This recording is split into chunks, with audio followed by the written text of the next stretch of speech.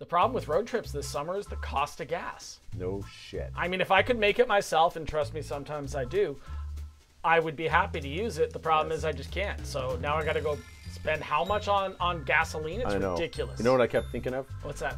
Expensive petroleum. That sucks.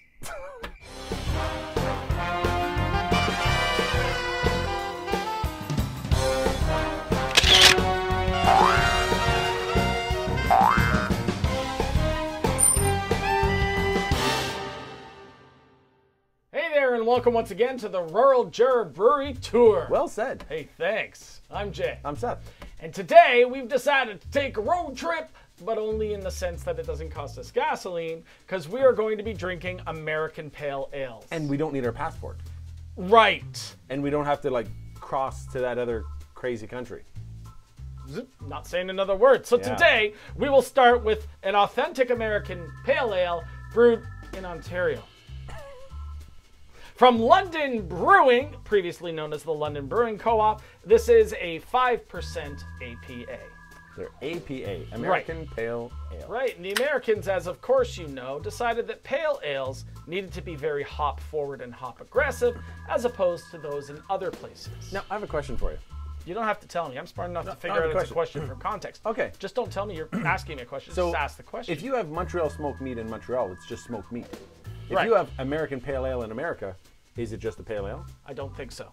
It's still an American Pale Ale. Well, they call it tuna fish, so redundancy is a good idea there. well it's not. Yeah. And let's take a look at this. It's certainly pale, although not quite as pale as one might expect. It still has a golden hue to it, almost like apple juice.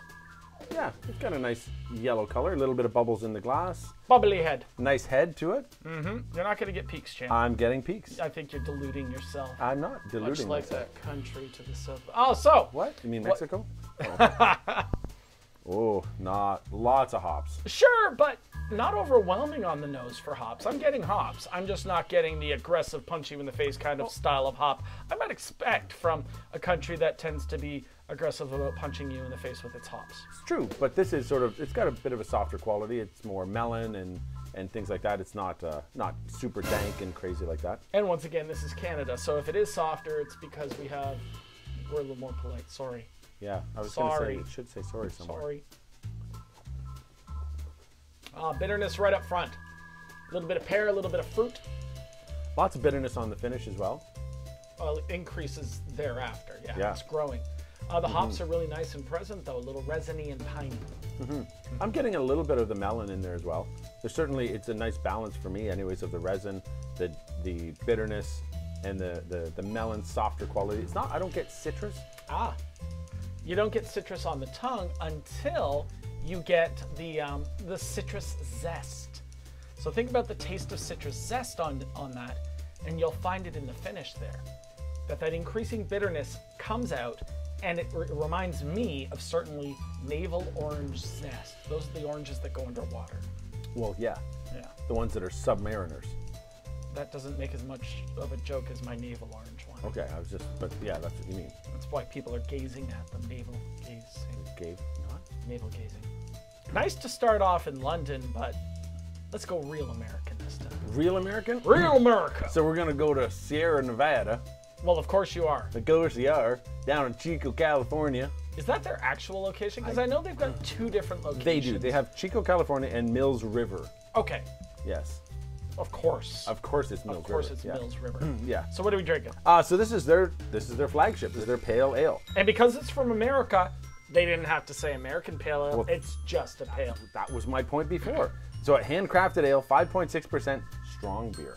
Well, you know how the Americans are with their beer. They Yeah. think it's strong at three percent. Yeah. Family owned, operated, and argued over. As are so many things, right? It's so true. Mm-hmm. Yeah. Oh, look at the bubblies. Mm. Look at the bubblies. That's really nice. And this is the same color as the last one. Oh, I, I would beg to argue on this. This one looks You don't have to orange. beg to argue. You Okay. can just argue. I'm just gonna argue. It would be fun to watch you beg. Okay, I think you're wrong. This one is a lot more orange to me. You suck at begging. Yes, I know. But still very active in the glass. I would say this one might even be more active. Then say it. I Don't tell them you would. Just do it. This is more active and it's more orange.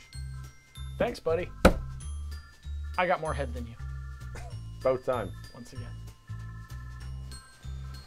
Lots of citrus. Getting some straw on that nose. Not the kind that choke turtles, like the kind that you Choke use, turtles? use- yeah, turtle choking straws. That's why you, why why you go to restaurants now and they're made of paper and they dissolve into your Those drink. straws suck. They're terrible. They're the worst They're straws the ever. worst. But I'm glad that I'm not killing a turtle with my plastic straw while I have my plastic cup and my plastic lid. Little maltier, A lot, yeah, a lot more malty. or I could say a little, and I'm then you could agree with me. The yes and part of this, But you said a little, and I'm going to say a lot. right? So that's not yes and. no, that's not. No, no, No. that's you're saying a little. That's not enough. I'm going to correct you and say it's a lot. When in I'm gonna it's a reality, lot. it's a little bit of malt. It's a little maltier than the last one. Um, I'm still getting hops. I'm still getting bitter, but this is more approachable. Yeah, this one has a lot more bubbles. There's a lot more malt in this one to me. There's more citrus. There's a lot of pine. Yes. Yeah, this is a very nice and approachable beer. Yeah. You want something that has a little more aggression than you, than your typical Mm-hmm. American beer? This has got it. This is going to be a flavorful experience that doesn't overwhelm the senses. Yeah. Take a little trip down to the states, but really, you just want to come back after that. So here we go. Here we go. back to Ontario with the Naughty Neighbor American Style Pale Ale. And this one has the the uh, the pinup girl on the can. no, Oh. no, we we don't do that sort of can art anymore. Oh. Why? Well, we've learned from our past.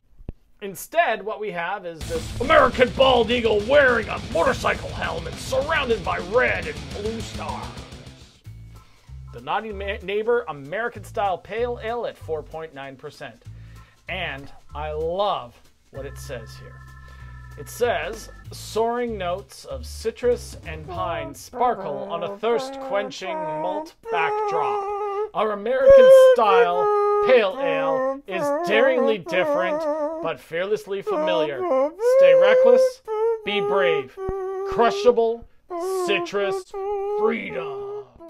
I got a very bubbly head. I've got a bit of Nice. haze to that, and there's some flaked uh, wheat in this one, so that might account for A little bit it. of cloudiness. Uh huh, uh huh, uh huh. T- touch of cloudiness. Um, very frothy head on this one, and I know how you like it, so I'm going to say that those are peaks. You're getting peaks. Lots of like citrus. the peaks in the American mountains. You might call them Rockies, but they're America. Oh, citrus! Those are American oranges, like from Florida. Except these are from Canada. Freedom! They're freedom oranges. Stay brave! Ah, but lovely citrus nose on that, and we're drinking now, so I'm We're shut drinking. up. Yeah. Talk about we it. Should. Yeah. There is just a ton of citrus in here. A lot of bitterness.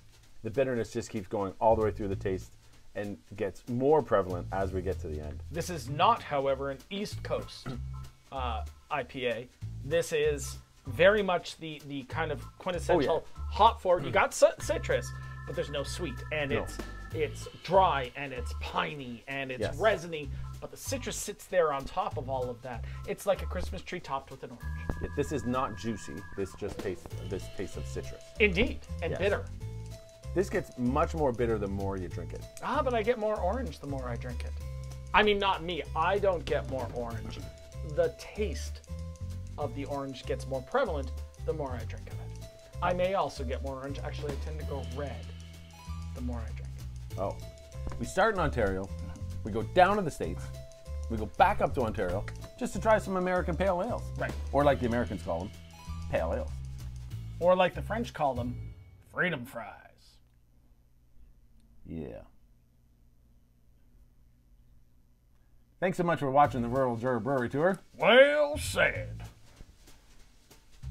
I'm Seth. I'm Jay. Check us out next time when we try some more beer. Probably not American beer. We'll see. Maybe. Make sure you like and subscribe below. and go to the website www.ruraljurorBreweryTour.com so you can try out some other episodes. Isn't it www? No, there are only two W's. Well, actually, one W. The previous one had no W in the bush He was an. H. You're right. He was an H. Yeah. We'll see you next time. Cheers. Actually, well, yeah. Some, most of the mountains in the states are kind of flat, like the Appalachians and stuff. But yeah. Appalachians. That's right. No, you can't call them that. I did. No, well, you can't. Apple. If you're if you're from there, you can call them that. But if we're if we're not from there, we can't say that. Is that appropriation? I think so. I think it's Appalachian. Appropriate Latin. Never mind. Oh my it was gosh, that was awful. Thank you so Yeah. much for that. Please write a comment below. Say how bad that was. Compare it to the most uncomfortable thing. Actually, respond with a story of the most uncomfortable thing you've ever experienced in your life.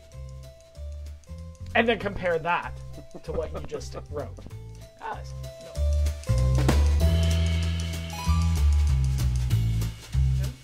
Crushable citrus freedom.